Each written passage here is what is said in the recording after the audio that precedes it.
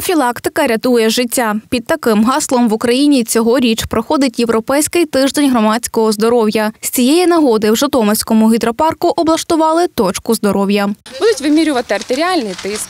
Е, Також будуть проводитися тести на гепатит Б, гепатит С, ВІЛ-інфекцію, на цукор тестування і буде консультація сімейного лікаря. Е, Лікарі профілактики будуть надавати консультації стосовно е, здорового способу життя, стосовно питань вакцинації та всі важливі питання, які стосуються і цікавлять сучасне населення. Також всередині автобусу можна пройти дерматоскопію родимок. Усі ці послуги надаються цілком безкоштовно та необмеженій кількості людей. Проводити такі медичні дослідження потрібно регулярно, говорять лікарі, бо ж хвороби підхопити можна скрізь. Взагалі на ВІЛ-гепатит е, потрібно робити. Чому? Тому що часто люди ходять, виконують деякі маніпуляції оперативні, чи то видалення зуба, консультація стоматолога, жінки навіть е, манікюр, е, можливе занесення інфекції. Не часто, але можливо таке. Тому треба робити, тому що чим раніше починати лікування даних захворювань, тим буде благоприємніший прогноз в майбутньому.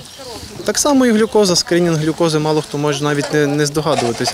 Дуже часто зараз є втома у людей, якась сонливість, якась швидка втомлюваність. Теж може бути як таке початкові ознаки діабету. Особливої підготовки до такого обстеження, говорять лікарі, не потрібно. Бажано, аби перед цим пацієнт не вживав алкоголь. Результати досліджень люди отримують вже за 15 хвилин. Такою пропозицією скористалася і житомирянка Оксана. Почула про таку можливість, е, вирішила скористатися даною нагодою. Це дуже зручно, тому що в даному е, в темпі життя не вистачає завжди е, часу. Це дуже важливо. Треба слідкувати за своїм станом здоров'я, щоб залишатися здоровими, активними.